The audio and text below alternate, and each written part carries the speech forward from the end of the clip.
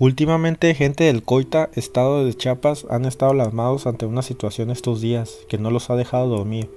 Bastante extraña, lo que parece ser un ser de apariencia humanoide, peluda, semejándose a un lobo. Desde este viernes pasado habitantes de la zona han estado viviendo sucesos muy aterradores ante esta bestia que circula su zona. Como son personas muy creyentes a sus tradiciones inconservadoras, lo han relacionado con nahuales o por entes malignos, que hasta la misma iglesia de su pueblo ha intervenido en el caso, dando consejos a sus pobladores de qué hacer. Algo que parece como el siglo XIX amigos, pero ha visto en la actualidad. Pobladores del lugar con armas se dispusieron a cazar a esta bestia, dándole balazos al aire para ahuyentarlo. Además del también hubo el caso sobre un elemento de la policía que fue a investigar sobre la situación, encontrándose con ese ser extraño que se lo topó de enfrente y disparó unas cuantas balas, pero no le hizo daño alguno. Además de que, de que empezó a escapar entre los techos de las casas hasta esconderse en el monte. Después de esta situación, el policía denunció el cargo.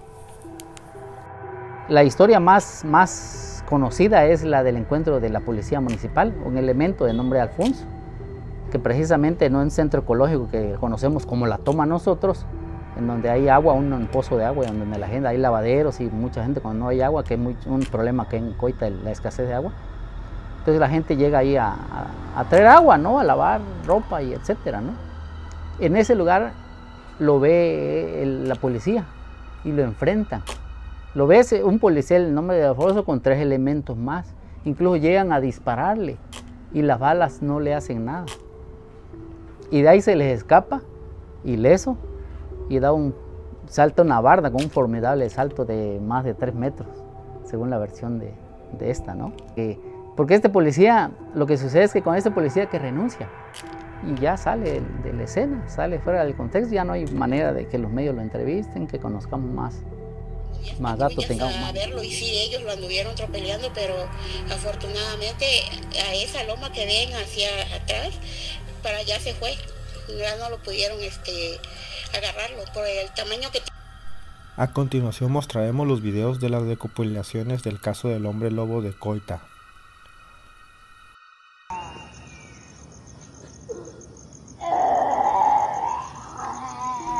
No sé si alguien más eh, está escuchando eso, pero la neta sí ya me cagué de miedo.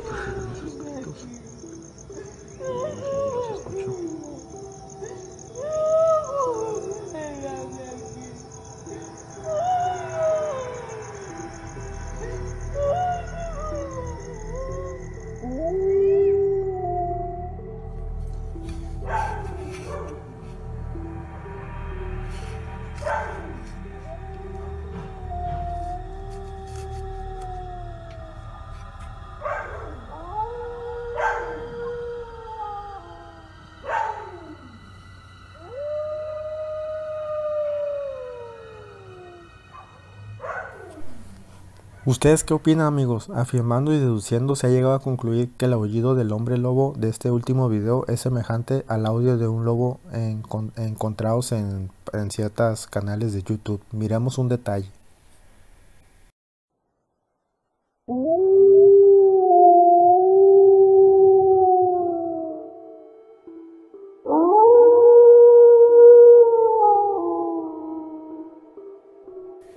Mientras tanto, un especialista afirma que todo esto se trata de una histeria colectiva del pueblo, puesto igual como todos están pasando el aislamiento por la cuarentena sin poder salir de sus casas y cualquier acto raro los mantiene en una especie de psicosis.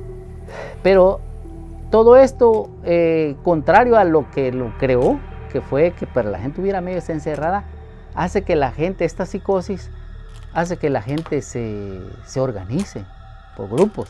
En los barrios, el mirador, Juan Sabines, el Barrio Nuevo y San Isidro, y por grupos se arman con palos, machetes y, hasta armas de fuego, y, con lo que pueden, ¿no? que parezca arma, y salen a la búsqueda. Llevan tres noches con la de anoche, tres noches buscando al